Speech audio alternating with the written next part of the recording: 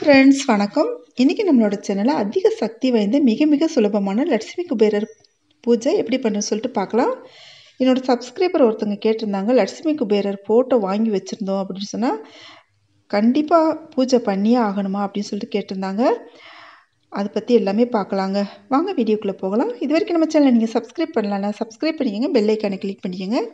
லட்சுமி குபேரர் ஃபோட்டோவோ சிலையோ வாங்கி வச்சுருந்தோம் அப்படின்னு சொன்னால் நாம் பூஜை பண்ணிக்கிறது ரொம்பவே நல்லது.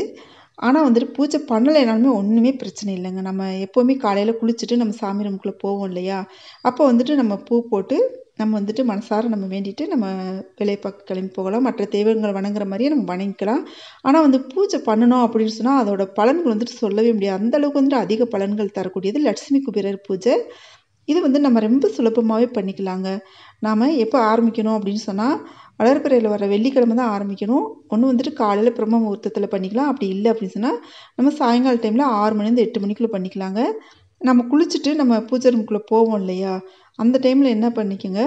பதினோரு ஐந்து ரூபாய் நாணயங்கள் எடுத்துக்கலாங்க. பதினோரு ஐந்து ரூபாய் நாணயங்கள் எடுத்துகிட்டு நம்ம ல ஓம் லட்சுமி குபேராய நமக ஓம் லட்சுமி குபேராய நமகன்னு சொல்லிட்டு அம்மனோட நெத்தியில் வச்சுட்டு அடுத்து வந்துட்டு குபேரரோட நெத்திகிட்ட நம்ம காட்டிட்டு நம்ம வந்து கீழே ஒரு விளக்கு வச்சுக்கணுங்க. ஒரு பித்தளை விளக்கோ அப்படி இல்லை அகல் விளக்கோ வச்சுக்கணும்.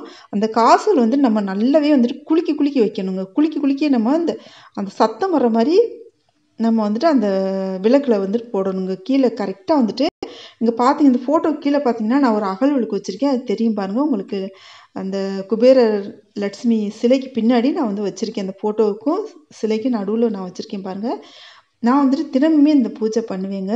இந்த பூஜை வந்துட்டு நிறைய பேரோட வீடுகளில் வந்துட்டு இது பண்ணிக்கிட்டு இருக்க பூஜை. பதினோரு ஐந்து ரூபாய் நாணயங்கள். அது பித்தளை மாதிரி இருக்கும் இல்லையா? அந்த மாதிரி நாணயங்கள் எடுத்துக்கோங்க. எடுத்துகிட்டு கழுவிட்டு சுத்தம் பண்ணிவிட்டு நீங்கள் பண்ணிக்கலாம். இது வந்து ரொம்பவே சுலபமானது. ஆனால் வந்துட்டு மிக மிக சக்தி வாய்ந்தது. இந்த பூஜை பண்ண பண்ண இதோட பலன்கள் வந்துட்டு உங்களால் உணர முடியும். அந்தளவுக்கு வந்துட்டு அதிக சக்தி வாய்ந்ததுங்க. நீங்கள் வந்துட்டு பெருசாக பூஜை பண்ணியே ஆகணுன்றலாம் இல்லைங்க. நம்ம இந்த மாதிரி சுலபமாக நம்ம வந்துட்டு குபேர லட்சுமி பூஜை வந்துட்டு பண்ணிக்கலாம். இது வந்துட்டு எவ்வளோ நாளைக்கு வேணாலும் பண்ணலாங்க. ஆனால் வந்து வளர்பிறையில் வர வெள்ளிக்கிழமையில தான் பண்ணணும். ஆண்கள் பெண்கள் குழந்தைகள் பெரியவர்கள் யார் வேணாலுமே பண்ணிக்கலாம். நம்ம எப்போவுமே பூஜை ரூமில் நம்ம விளக்கு ஏற்றி வைப்போம் இல்லையா? விளக்கு ஏற்றி வச்சுட்டு சந்தன குங்குமம் தொட்டு வச்சுட்டு நம்ம இந்த பூஜை பண்ணிக்கலாம். நம்ம தினமுமே பண்ணலாங்க. தினமும் பண்ணலாம். அப்படி இல்லை. உங்களுக்கு டைமில் அப்படி சொன்னால் வெள்ளிக்கிழமை வெள்ளிக்கிழமை மட்டும் கூட பண்ணிக்கலாம். நம்மளுக்கு நைவேத்தியத்துக்கு என்ன வேணாலும் வச்சுக்கலாம். கற்கண்டு கூட வச்சுக்கலாம்.